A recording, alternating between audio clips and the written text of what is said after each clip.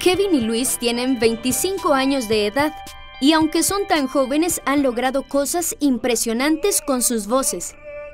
Estos dos estudiantes del bachillerato en música, con énfasis en canto, han dejado el nombre de Costa Rica y de la UCR en alto en prestigiosos concursos internacionales. En el año 2015 participé en el eh, Festival eh, de Cultura y Arte eh, Centroamericano, FICUA, en Honduras. En este caso con el coro universitario fui solista y em, también el año pasado canté una ópera en Guatemala con el Instituto de Cultura Italiano en Guatemala. Em, más recientemente, hace unas semanas, estuve en España, estuve en un concurso para, para estudiar en el, en el Centro de Perfeccionamiento Vocal Plácido Domingo en Valencia.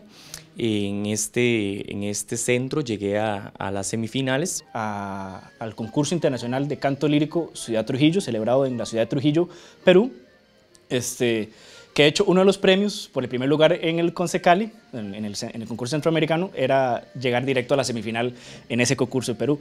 Entonces llegué a la semifinal y, también resulta que gané este, el primer lugar. Y bueno, y también a partir de eso también se dieron muchas oportunidades, este, muchos contactos importantes, tanto a nivel de Estados Unidos como a nivel de Europa. Y, y, ya el concurso más reciente fue el concurso internacional de canto este, Stanislav Monuszko, que es el compositor más importante de Polonia. Y bueno, es uno de los concursos más difíciles que hay a nivel europeo. Honduras, Guatemala, España, Polonia, Perú son algunos de los países que estos jóvenes han visitado y en los cuales se han ganado el aplauso del público. Los concursos en los que han participado, como ellos mismos lo indican, no han sido nada fáciles. La universidad ha sido una plataforma que me ha permitido eh, no solamente crecer académicamente para, para poder participar, como vos decís, de estos eventos en el exterior, eh, y es, es, esa, es esa, sin esa plataforma es imposible ¿verdad? salir de Costa Rica o, por lo menos eh, representar dignamente al país en el exterior.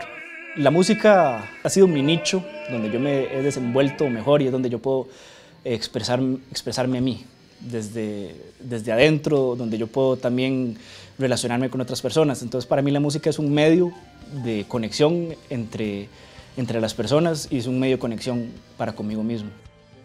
Recientemente, Kevin viajará a México al Festival de Ópera de San Luis y Luis Gabriel se prepara para visitar Estados Unidos y Europa en los próximos meses.